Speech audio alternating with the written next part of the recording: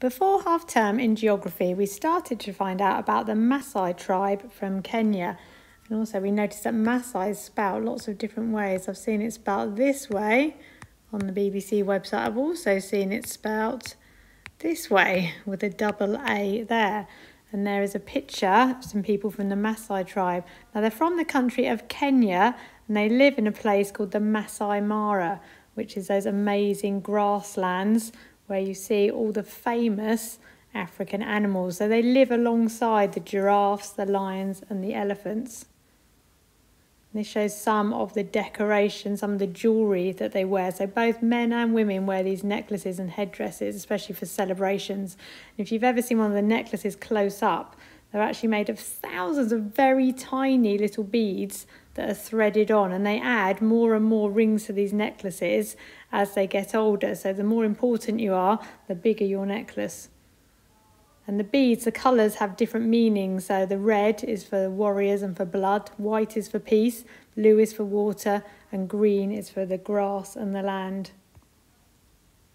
They wear bright clothes and they're often red, and they also wear something called tartan.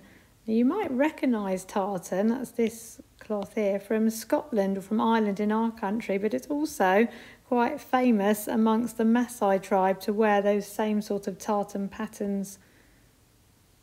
And this is what we found out before that they're herders and they herd cows and goats. And they use the cows for absolutely everything. So they drink the cow's milk and the blood as a sacred drink. They use the cow's dung to cover and seal their homes. They don't often kill the cattle for eating them, unlike we do, but when a cow is killed for like a special celebration, then the horns are used for containers, the hides so the skin is used to make shoes and clothes and ropes and bed coverings, and the hooves and the bones are made into ornaments. So the more cows a man owns, the richer he's thought to be. So for many thousands of years, there was no money at all in their society. The money was really the cows, it was how many cows you had and we found out how they move their homes from time to time. So their homes aren't built to last for a long, long time. They're built to last for a year or two, and then they move somewhere else because their cows have eaten all the grass in that little area. So they move along to help the grass recover to another part of the Masai Mara, and the women build new homes for the village. The Maasai men have different jobs from the Maasai women. They're in charge in the tribe, and when boys are 14 years old, they are ready to become warriors. The men go out onto the Masai Mara to hunt animals to feed their families. When they were 14 years old, boys used to go out alone to hunt lions, which was to sort of prove how brave they are. Nowadays, actually, the Maasai people help protect the lions and they're sort of working with the government to help save many of the African animals that are being hunted by poachers. The women take care of the children and they build the huts and take care of the home. They prepare the meals and the food and they make the clothing. They also make the necklaces, dresses, and headdresses out of tiny beads. Now, another thing that the Maasai are famous for is a jumping dance that the men do. They jump as high as they can for as long as they can, and the man that can jump the highest is seen to be the strongest and the best warrior. So he's sometimes become an elder or a chief. And when we do this in class, we actually have a bit of a competition to see who can jump the highest. And when you look at the photographs, you can see they are jumping very high. The women also sing and dance different songs and dances. They sing for their babies, their husbands, and to celebrate. They always sing and dance amongst themselves and separately from the men. And there's another picture of the jumping dance. Now, I want you to think about what it would be like if you were in the Maasai tribe. So, children in the tribes have lives very different from you, but they're the same in lots of ways too. Their parents care for them and do all they can to keep them safe, and they like to play together and love to be outside. Now, I overheard some of the children in school when they were talking about the video before about the Maasai, and they're like, oh, look at that. Oh, I wouldn't want to live. Oh, look, they live in a mud hut. But think about it a bit more carefully. For lots of years, the government in Kenya has been trying to get the Maasai people to move into the cities, to move out of their villages, and they haven't wanted to. So they've wanted to have, you know, they want medicines and they want schools, but they don't want to give up their way of life. They're very proud of their traditions and the way they live and the freedom they have. They don't really want to live in tiny little flats in cities. They want to stay and keep up their traditions, but they also understand the importance of having good health care and having schools for the children. So, unlike you, Maasai children work. Mostly they herd the goats and the cattle, and when they're not herding, they help their mothers carry water and care for the homes. Some children don't go to school because there isn't a school close enough for them to reach. They don't have cars or bikes to help them get there, and the roads in the Masai Mara are hard to travel on. But the government, the Kenyan government, has put lots of money in to build schools. So more and more skills schools are being built for the Maasai children. And now actually lots of them do go to school. I think now, because this is a bit out of date, this PowerPoint, the Kenyan government say there is a school for every child in Kenya. Now, if you look at their schools, they are very different to our school, but they're actually learning similar things. They also learn English as well. Now, what I want you to think about is how life would be different if you were a member of the Maasai tribe and things that would be good, the good things. Because sometimes we look at something that's different, we think, oh, I don't like that, that's different, I wouldn't like that. And maybe think about if someone from the Maasai tribe came to your life and lived in your house and came to ask, well, what would they think of it? What would they miss?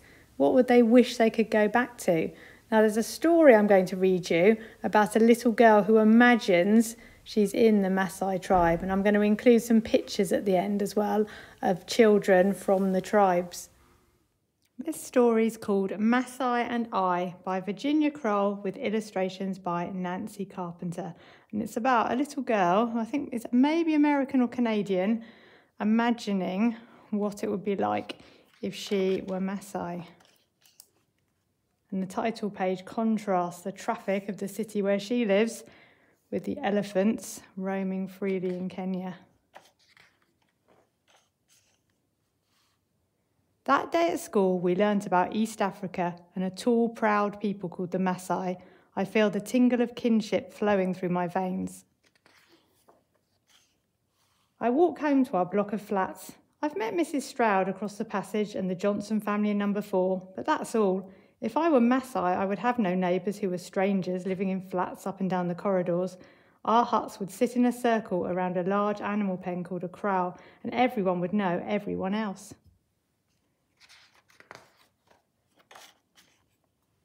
We always have to wait for Daddy to get home so we can eat together. If I were Maasai, Daddy and Ray would be eating with the other men, and Mama and I with the other women. Ray fills the water jug at the kitchen sink. If I were Maasai, my brother would walk long distances to find a water hole, and he would bring the water back in giant gourds. What's for pudding? I ask. Mama gives me money to buy a chocolate bar, and Ray and I walk to the corner shop. If I were Maasai and I wanted something sweet, I'd wait for the honey guide to come. The little bird would chatter wildly above my head, begging me to follow. I'd lop along below, and it would lead me to a beehive. I'd light a fire with sticks rubbed hard together and make a smoking torch to calm the bees. Then I would scoop the honeycomb and leave enough behind for my friend the bird. Before we leave, Mama says, Come in when the street lights turn on. I look up at the sky and sigh. If I were Maasai, I would stay out till the bats' caves echoed with empty silence, until the low white moon glowed yellow and rose above, until whole flocks of flashing fireflies turned streets into lanterns.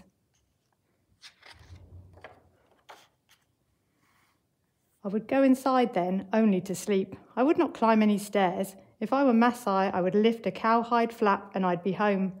If I were Maasai, I couldn't look out of my window and see what's going on in the street below. My hut would have no windows, only small holes to let out the smoke. We would not have any couches or chairs, lamps or tables either, only several stools. Next morning, Mama gets ready to go to work. If I were Maasai, she'd stay nearby, milking the cows and tanning animal hides. Make your beds before you go, Mama calls to Ray and me. I straighten my sheets and stretch my ruffled bedspread. If I were Maasai, I'd spread a cowhide on the bare earth at night and roll it back up in the morning. I wouldn't have my hamster Huey in his cage if I were Maasai. I would have cows through a whole, though a whole herd, and I'd know everyone by name. I would not have to go to the zoo to see giraffes or ostriches or zebras either. I'd share the African air with them, the African soil and the African rain. I set out for school and run back for my new white trainers I'd almost forgot. I've got gym today. If I were Masai, I'd run and leap in bare brown feet across lush pastures or pale parched earth, and only once in a great, great while I'd wear sandals made of buffalo hide. That evening, my brother and I fight over who gets the bathroom first. We're going to Grandma's party at a restaurant. It's her 70th birthday. I wash with scented soap and dry my skin with a thick towel. If I were Masai preparing for a celebration, I'd rub my skin with cow's fat mixed with red clay so that my skin would shine. I'd want to smell nice if I were Masai, just like I do now, so I'd crush sweet smelling leaves to rub along my shiny skin. My cousin James come over and we pile into the car to drive to the party. If I were Masai, walking three miles would be nothing for me. I'd glide across grasslands open and free.